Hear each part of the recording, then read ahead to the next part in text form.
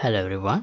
So after posting this uh, 3d photo in facebook so i thought of sharing how did i capture the depth map uh, and the color map.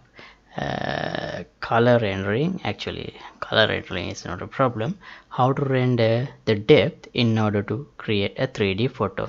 So actually i had already covered that in this video which I did a while ago. But uh, here we have a problem. The problem is this. When I enable scene depth you can see there are some lines here.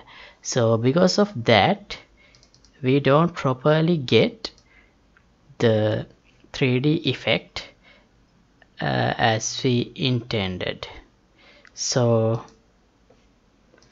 Today I'm going to show you a method to properly render the scene depth without having any problems. So first here under buffer visualizations well first in order to make a 3d photo what we have to do is take a screenshot uh, of with the colors and then take a screenshot with the depth scene depth and then uh, name them as let's say something like screenshot.png and screenshot underscore depth.png so when you do rename it like that and upload it to facebook it automatically recognize as a 3d image.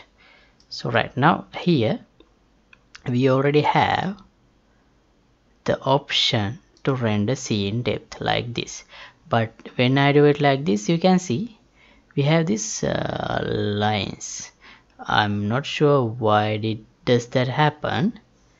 And also um, in the closer uh, in closer range it should be white completely white. And as we go further it should be black. That's how the depth uh, image should be in order to work with Facebook 3D image system. So to work to get that effect I'm gonna create a new post process material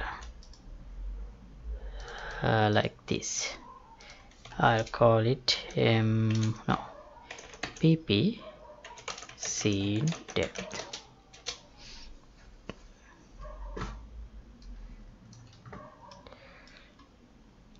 Right?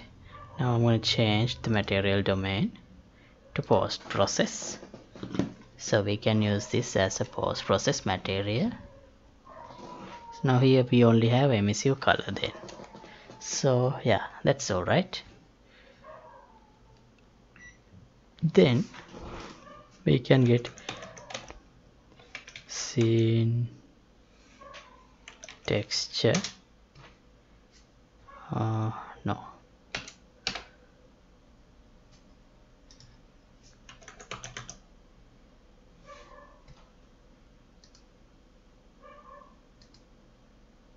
ah yes it should be scene texture. And here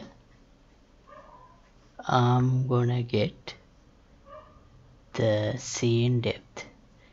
And if I plug it here it's all white. So the reason is when I'm away from certain when the depth of the scene depth of the pixel is away from the camera more than one well it becomes white.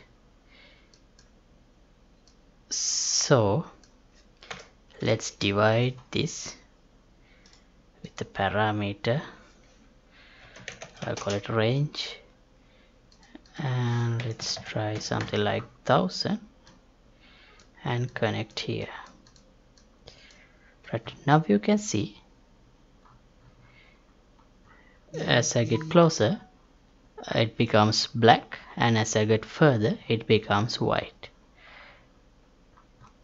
So actually this is not the way I need. I need it to be in the closer it should be white. As I go further it should be black. That's the way I want it.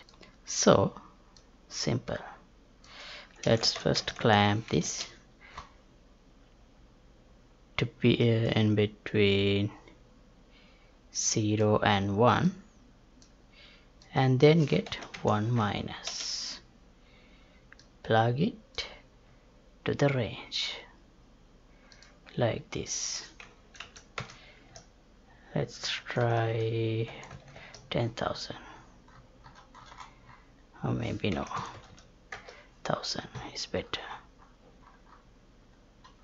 Right now apply.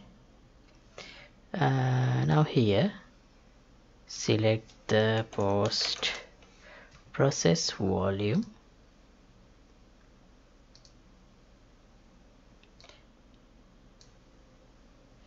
And then under post process materials add another element asset reference pp depth.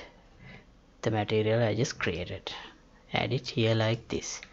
Now you can see um, the depth map but this range is not enough. Let's try 10,000 still maybe not enough. 15,000 yeah I think that would be enough okay. Now if I make this value 0 I have the full colored image. So let's take a screenshot with high res shot. One. No maybe two. And screenshot is saved oh wait. I can't have these trees waving so therefore I need to pause the time. So let's simulate.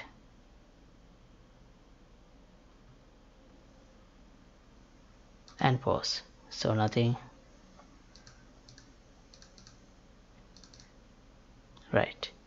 Better. Now let's take the screenshot.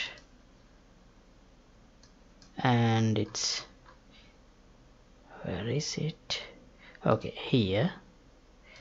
This is the screenshot I took.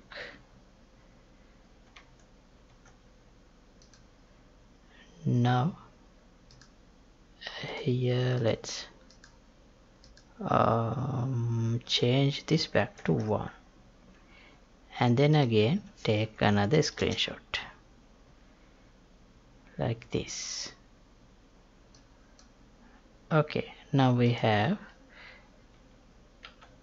this colored shot I'm gonna name it shot and I'm gonna name this one shot underscore depth. Right? Now select both images. And drag and drop here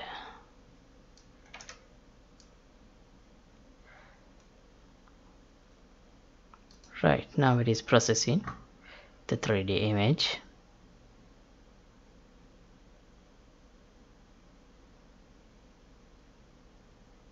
Cool. Now we have a clean 3d image. As you can see here we have less artifacts. It's more clean than the previous case. Also if you notice here we don't have any lines in the sky. Alright so that's it and thanks for watching so as always the project files will be available through patreon page. And if you would like to support my work you can get the membership of the patreon club. The link would be in the description below. And thanks for watching. See you in the next episode. Goodbye